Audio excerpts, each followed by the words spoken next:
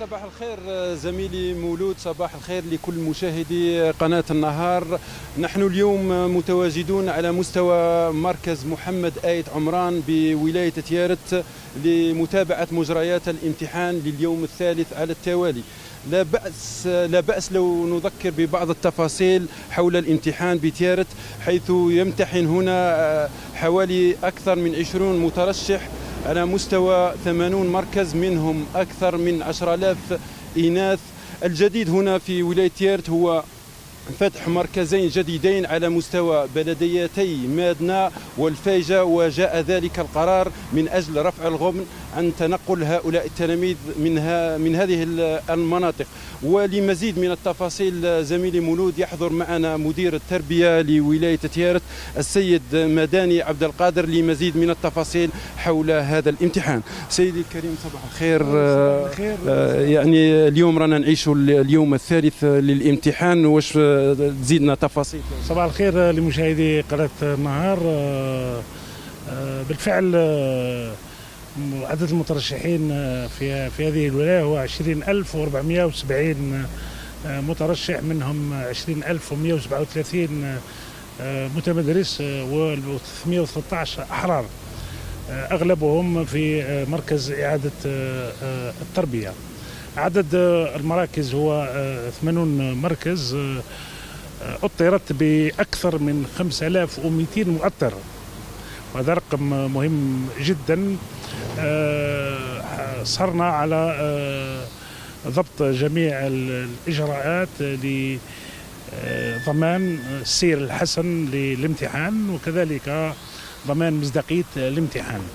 آه، الملاحظ أنه خلال مجريات اليومين يومي الامتحان الاثنين والثلاثاء لاحظنا أو تأكدنا من وجود تأطير في جميع مراكز الامتحان سواء من من رؤساء المراكز أو من من الحراس أو من آه، أعضاء الفرق الطبية والمرافقين النفسانيين.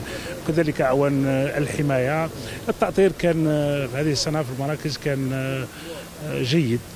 تأطير جيد مما ساعد أبناء التلاميذ على الامتحان في ظروف هادئة آه، سجلنا عدد غيابات قليل لا يتجاوز الواحد بالمئة 230 غائب أغلبيتهم آه، من من الأحرار.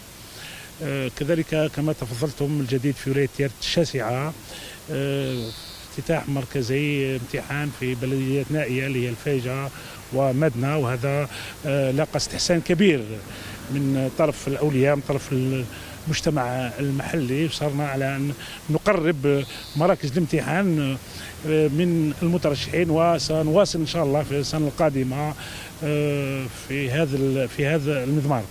آه، كذلك حرصنا على أن توفير الإطعام لجميع المترشحين أو لجميع المؤطرين والمترشحين المتنقلين. حيث سخرت في الولايات 72 مركز آه، يعني آه، مركز إطعام بمعدل تقريبا مركز لكل آه، مركز إطعام لكل مركز امتحان وهذا من أجل تسهيل عملية أو أن تمر عملية الإطعام في ظروف آمنة. نعرف أن حتى الوجبات يعني عرفت تحسن يعني نعم عرفت تحسن بعد رفع القيمة آه، قيمة الوجبة من 100% من 200 دينار إلى 400 دينار وال, وال والواقع إنه من خلال مراقبة مختلف الفرق لمختلف مراكز الإطعام لم نسجل أي آه، مخالفة تذكر لحد الآن. وهذا مؤشر آه، إيجابي. في هذا في هذا في هذا الملف. آه، كذلك آه، حرصنا من منذ البداية على تطبيق البروتوكول الصحي في في مراكز جميع مراكز آه، الامتحان.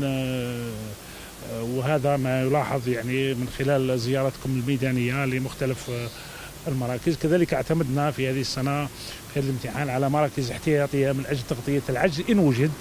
في المؤطرين كل هذه المعطيات كلها من أجل أن يمر الامتحان أن أن يجتاز ابنائنا التلاميذ الامتحان في ظروف حسنة ونعطي مصداقية لهذا الامتحان. سيدي الكريم حتى شاهدنا في يعني في تأمين ال ال ال الامتحانات يعني خاصة ولاية يرت منطقة شاسعة وتعرف تنقل من منطقة لمنطقة كيفاش الإجراءات كان رغم أنه الولاية شاسعة بالفعل فوق مساحة 20 ألف كيلومتر مربع لم نعتمد على المراكز المتنقلة والمتقدمة.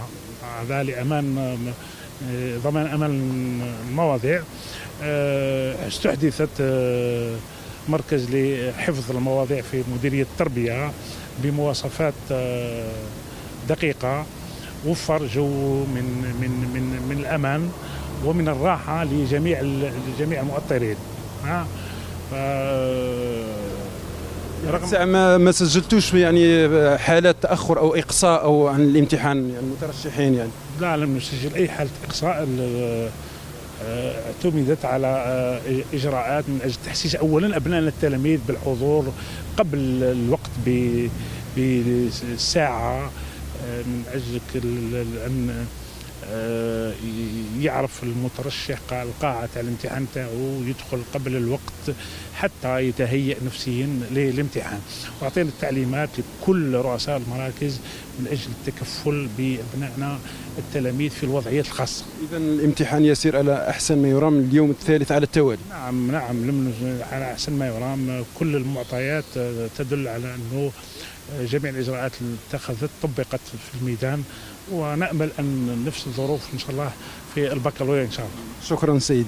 اذا زميلي مولود كانت هذه تفاصيل الامتحان على مستوى ولاية يرت الذي يسير لحد الساعة على أحسن ما يرام. اذا نمد لكم الخط في انتظار مترشحي المترشحين أو التحاق المترشحين بمراكز الامتحان لأخذ آرائهم يعني حول اليوم الأخير من الامتحان.